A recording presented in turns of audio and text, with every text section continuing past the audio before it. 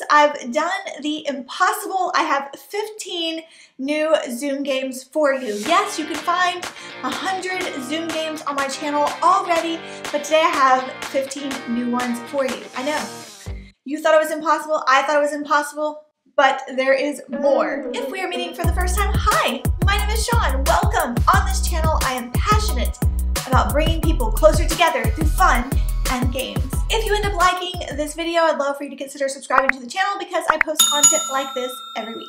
The first game, the title may seem like you know what I'm gonna talk about, but there's a twist to it. the first game is called Guess Who. Of course, you could play the traditional Guess Who board game like this right here, but this version of Guess Who has a twist. This game is perfect for a large class on Zoom where you have all of your tiles and you can see everybody. If you don't know how to do this, it's through Gallery View. I have a tutorial on how to display everybody on your Zoom call on your desktop in one gallery view. I will post a link to that video in the description box down below. So the grid of students is like your board game on Guess Who. You as a teacher, you're going to think of one student in your class and maybe write their name down on a piece of paper. Students will then ask yes or no questions to eliminate and see whose name you have written down on the piece of paper. The first student to guess which classmate is written down on your piece of paper is the winner. But remember, students can only ask yes or no questions to the teacher. Game number two is called the Minnie Mouse Game. To play this game, you will use the whiteboard feature, the drawing tools, and you will need one die per person. Here you will see me drawing Minnie Mouse on the whiteboard feature and you'll see different numbers for the different parts of Minnie Mouse. On the count of go, students will roll their individual die and as they roll in order, they will create their Minnie Mouse and the first person to create Minnie Mouse is the winner. The next game is called ABC Scavenger Hunt. Now I found this on the Dixie Cups website. If I can find it again, I will post it in the link below because they had a lot of really cute games. Who would have thought that Dixie Cups would have games and also food recipes on their websites. Players will also need scissors, a marker, and a paper plate. Using the markers, write the alphabet around the edge of each plate. Using the scissors, make a small cut on either side of each letter to form a tab. Write each player's name on the center of the plate. Players can decorate the plates if they want to. So the way that you adapt this to Zoom is once your students have created their game board, they will look around their space and bring something to their desk that starts with the letter of each alphabet. And whoever finds objects for all of the letters in the alphabet first wins the game. So first player to find all 26 letters of the alphabet all right, this next game is called Day in Review. This game will be great at the end of the class period, at the end of your virtual distance learning class period, your end of your homeschool day, or you just want to check in with your grandkids and see how their school day went. This is the game for that. One person chooses a letter, then going around the Zoom squares of faces, each person describes their day in one word that is the next letter that the first person chose. Does that make sense? One person chooses a letter. Then you're going to go around and everybody gets a turn that is on the Zoom call. Each player will then describe their day without using the letter that the first person chose. So this seems a lot harder than it sounds. Or is it the opposite? Does it sound too hard? It's a lot easier than it sounds. Okay, so say the first person chooses S. Well, then you have to, all the other players have to describe their day with a word that doesn't begin with S or words that don't begin with S. So you can't say, my day was super fantastic. Eh, I would lose the game because I use the word super, which begins with the letter S which the first player identified as the letter we were avoiding. You could say something like, I had a awesome day of class instead of school, right? I almost, I almost lost my own game. This is a great game to test your vocabulary skills. The next game is a memory game. You're gonna begin by stating a sentence, and then each person after you has to state the same sentence and then add on to it. So for example, I went to the park and saw an alligator. The next person would then add, I went to the park and saw an alligator while fishing. Then the next person would add on to that sentence and it really tests your memory skills to see if you can remember what everybody said. So whoever is at the end of this game has the most difficult time. The first person to forget part of the sentence loses the game. The next game is called Mystery Bag. Ooh, Mystery Bag.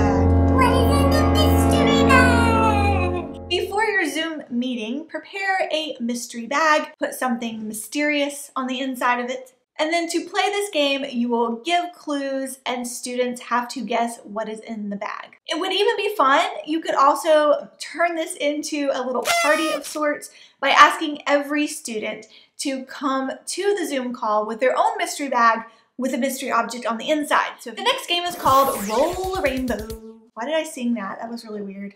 To play Roll a Rainbow, every player is going to need die. One, one singular die, a piece of paper, and some colored pencils, crayons, markers, colorful rainbow colors. Set a timer for one minute and see who can build their rainbow first. I love rainbows. Who here loves rainbows?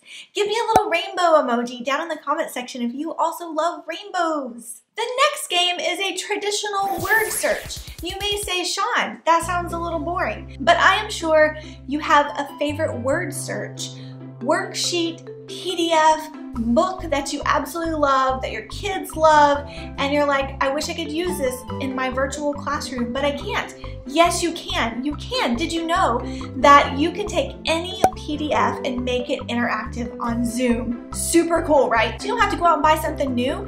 You can just scan in a, your regular, any old word search you have laying around your house or in your teacher files, scan it in, make it digital, and pop it into Zoom. I have a tutorial all about how to make your PDF interactive so you can do a word search together with your kids. I'm gonna post a link to that tutorial right here. The next game is MASH. Do you remember this? We always played this at slumber parties when I was a kid growing up. We would play it in middle school, like during homeroom started, we would play MASH. MASH is a super easy game to play on Zoom. So if you're looking for birthday party ideas while you're here, MASH is a great one to do that. If you're looking for a throwback game, MASH is a great game to do that. I found this little printable here free on Pinterest. I'll post a link to it down below and you just simply follow the instructions.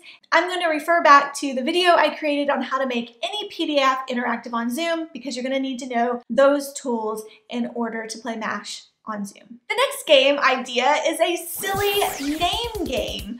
I know you've seen these these pop up on Facebook all the time. I found this really cute penguin one on preschoolpop.com. I will leave them linked below. It is absolutely adorable, but there are tons of these free ones all over Pinterest of varying themes, but simply play this silly game online, come up with your own silly penguin name, and have fun being silly on Zoom together. The next game is called Number Out, and it is similar to how you would play Four Corners, except you're going to write numbers down on scraps of paper, and every student will need their own scraps of paper with numbers on them. So instead of moving corners around the room, students will hold up pieces of paper. Have students cut or tear a paper and write the numbers 1 through 6 on each one of them. Each round, students will choose to hold up one number. The teacher will roll a die and the students holding up that number are out. They are eliminated, they are gone. Continue playing until only one player remains, and of course that person is the winner. This next idea I have talked about before, I have a separate video on, but I have a new way of playing it zoomed in. Yes, I have given you multiple ways to play this game before. I will link the other ways to play it in the description box down below, but I have a new way. I have a new way to play zoomed in that I think you're going to like. When playing zoomed in, you begin by looking at images that are magnified or zoomed in very close. Collect and save several images prior to your virtual meeting. You all know I love sending you to unsplash.com to find these free images. Before you start the meeting, Also open up the images in preview. This is very important. Before you start your meeting, go ahead and have your images opened up. Preview is great to use because you can easily zoom in and out using the magnifying glass icon. So when you're ready to play, all you do is share your screen so everyone can see the image. And at first, you only see a portion of the image. And as players get guess incorrectly, you slowly zoom out using that little magnifying glass. All right, did you like that one? Did you like that version of zoomed in? Let me know in the comment section down below if you did. The next game is called Name, Place, Animal, Thing. That sounds like, um, what is it? Gorillas, bears, monsters, oh my? No, that's not it. that's not it. From The Wizard of Oz. Bears, lions, tigers, oh my. Tigers, lions, bears, oh my. Is that it? no, this is name, place, animal, thing. This game is great for older kids. So to play, pick a letter. Any letter, there's 26 letters in the English alphabet, pick a letter. Each student has to list a famous person's name, a place, an animal, and a thing that all begin with the one letter that you picked. The first person to type all of those things into the chat is the winner. Easy peasy lemon squeezy. Another game that I love to play is Connect 4. You guys love this game? I love the traditional board game Connect 4. Man, there's nothing like getting that satisfaction when you get four in a row and you're horizontal, diagonally, vertically, any way about it. Man, I love, we used to play this all the time as a kid. This is super easy to play on Zoom.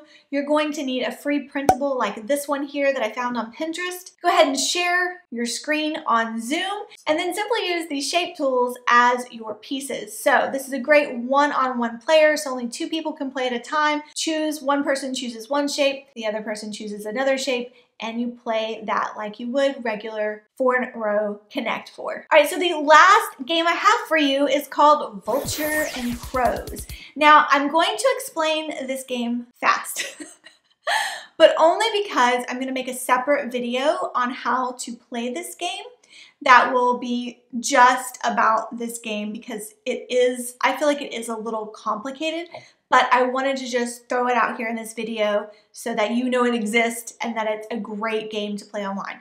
This would be a good one-on-one -on -one game. This is not good for a classroom. So to play Vulture and Crows, you're going to need the whiteboard feature and the shape tools. If I have already made the video all about this game, it will be posted in the description box down below.